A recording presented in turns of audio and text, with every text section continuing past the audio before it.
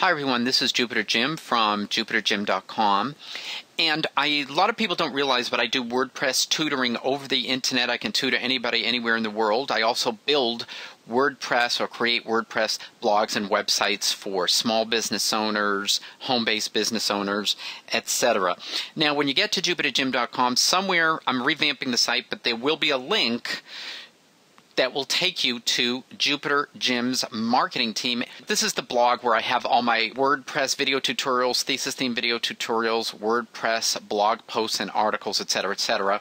So if you want to receive my videos directly into your email inbox as soon as I create them, just go to whatever opt-in box that I happen to have on my site at that time and just put in your username, your email address, click that button, sign up, and you'll be on your way. So once again, that's jupiterjim.com.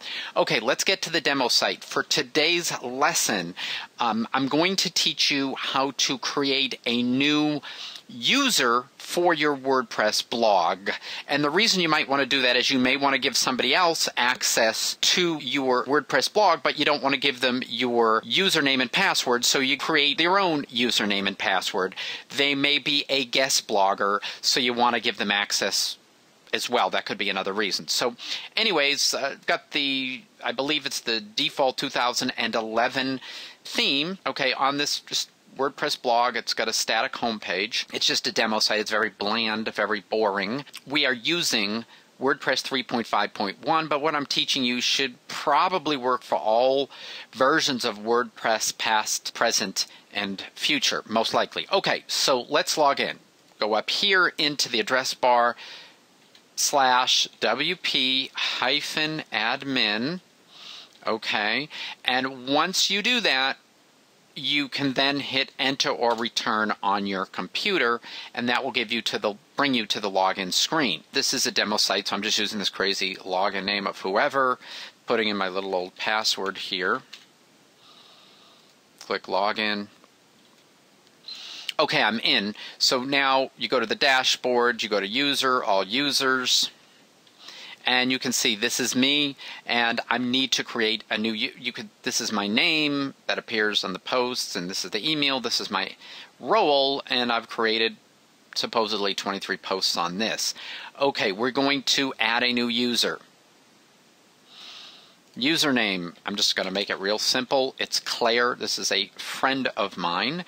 Email is Claire at clairecalway.com. first name in case you haven't caught on already is Claire, and her last name, many of you have already figured out, is Calway. Her website, I'm just going to go to the website, it's calway.com. Control C, Command C to copy if you're on a Mac. Go here, I'm going to Control Victor or Command V, Command Victor on a Mac to paste that in. I'm going to put in the new password and again repeat hopefully the same sequence of letters and numbers. You probably should just click send this password to the new user by email. Now the most secure thing you could do would be to not check this and just call them up and say, hey, here's your new password. Okay, that's the most secure way to do it. Most people are just going to click here and have WordPress automatically send them their new username, login username, and password. Okay, the role for this particular person, I'm going to give them administrator role. I'm going to pretend that they need to come in or and fix something on my site like I do for other clients at times, or perhaps we're going to be co-owners of this site and we're both going to create blog posts and we both are going to be in charge of updating plugins and all that stuff. Now, if I wanted to, I could perhaps just make her a contributor. Now, that's a good option if she was just going to be a guest blogger in doing a, a guest blog post once in a while.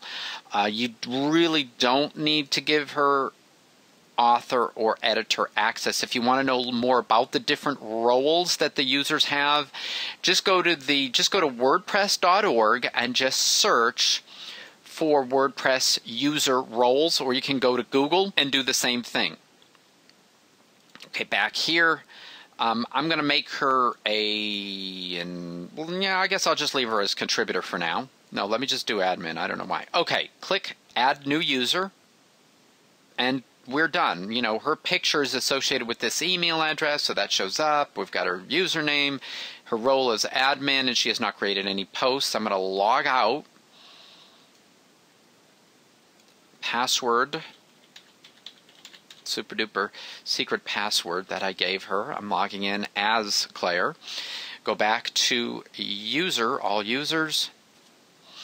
Uh, and since she's an admin, obviously she can't delete herself. She could delete me um, if she wanted to, and that's why you want to really trust that person you give the admin access to.